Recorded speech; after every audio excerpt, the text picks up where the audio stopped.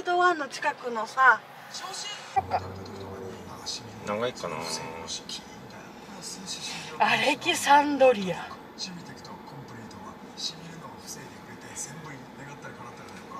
ダブルチーズバーガーピクルス大盛りセット。プラスエビフィレオ。全然聞いてない。下に溜まってんよ。めっちゃ溜まってんよ。ああのあれだもんね。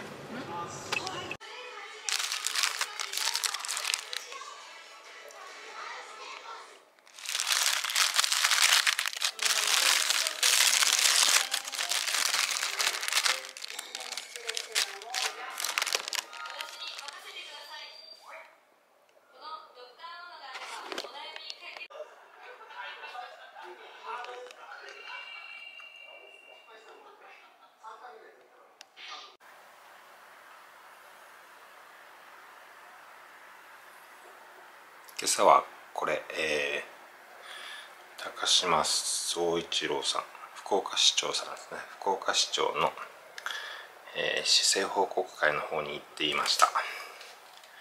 非常に、えー、いい、えー、報告というか、えー、今後の福岡市の、えー、戦略、えー、をシェアしてくれたんですけども、はい、非常にいい内容でした。今後、えー、福岡市としてはグローバル、えー、を目指していくという観点で、えー、今回のオリンピック・パラリンピックで、えー、まあちょっと問題になったような女性蔑視発言だとかっていうのはまだ日本が考え方が古くてグローバルの視点に合わせることができていないからああいうふうなことが起きたんだみたいな、えー、ことを踏まえて、えー、グローバルな視点を持って、えー、価値観のアップデートですね。新しい価値観のインストール。そういったことを、えっと、今後やっていきましょう。みたいなそういう内容でした、えー、今日はですね、えーえー、なんだ2021年、えー、7月28日、えー、水曜日です、えー、このビデオは毎週てか毎日毎日撮影して、えー編集して2年後に公開されるようにアップロードされています、はい、2年後、えー、今を振り返る感じの、えー、Vlog デイリー Vlog になっています、はい、今のところ、えー、もうすでに280件ぐらい投稿してるんですけど280日ぐらい連続してずっとやってるんですけど未だに公開されてる動画はありません。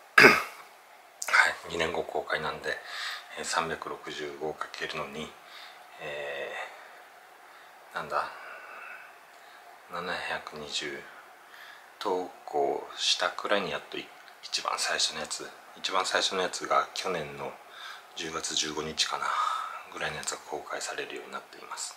すごく気の長い、えー、僕の個人プロジェクト個人趣味です、えーでこのビデオ、えー、何で撮ってるかというとソニーの GB1ZV-1 ですね。で今日そのソニーの、えー、GB1 Vlog カムっていうんですけどの新しいやつが発表されてました。ZV-10E かな。ZV-10E みたいなそういう感じのやつでしたね。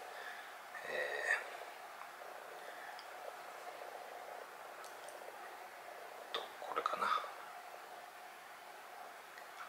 10E じゃなくてえっ、ー、と E10 ソニーレンズ交換のできる、えー、新 Vlog カム。Vlog カメラ、えー、ZV-E10 約7.8万円。欲しいですね。非常に欲しい。流行るんでしょうね。この ZV-1 も結構流行っていろんな方が買って、えー、ブロガーとかが使ってるんですけど、えー、レンズ交換とかできないですね。レンズ交換とかできないけど新しいその ZV-E10 では、えー、レンズ交換ができますと。あと電源の供給がですねこれはマイクロ S マイクロ、えー、USB マイクロ USB なんですけど新しいやつはタイプ C かな。USB タイプ C すごくいいな。羨ましいと思います、うん、なかなか、えー、次のカメラを買う余力はないので買わないとは思うんですけども、えー、欲しいなとは思いますね、うん、今日はそんなところですね。今日はこの後ずっとミーティングで、えー、しばらくずっとミーティングをやっていることになっています。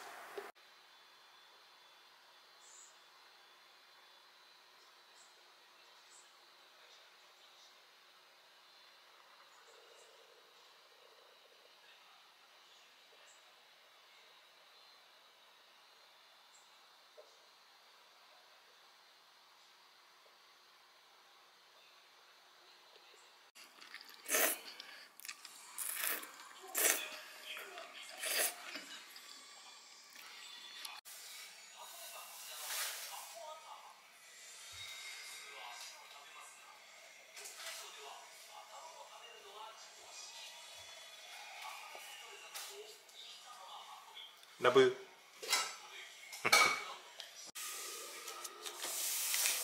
わあホタテ。やば。網走さんとかさ。五輪の開会式で音楽を担当している予定だった小山田圭吾さん。いじめ過去のいじめの発言のせいで、えー、まあ辞任辞退辞任となった、ね、小山田圭吾さんのいる、えー、ユニットっていうんですかね、えー、メタファイブさん。8月11日確か8月11日に新しいアルバム発売予定だったんですけど。えっ、と発売が中止になりました。すごく残念ですね。メタファイブ。メタファイブはえっ、と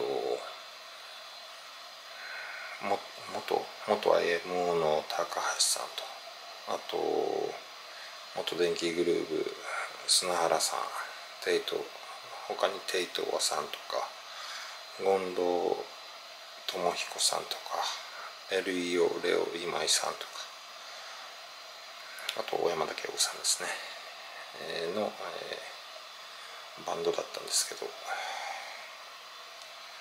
えー、新しいアルバム出る予定だったんですけど、えー、発売中止。延期じゃなくて中止ですね。になりました。非常に残念だなと思います。えー、インター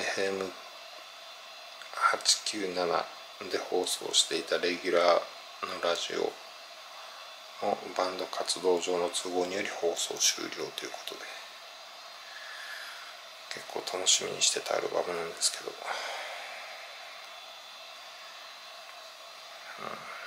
残念ながら発売中止ということで。はい。残念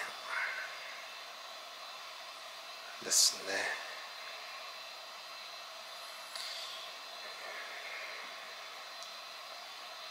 さあ今日はシャワー浴びて寝ます。毎日忙しいけどなかなか何もアウトプットできてないような状態です。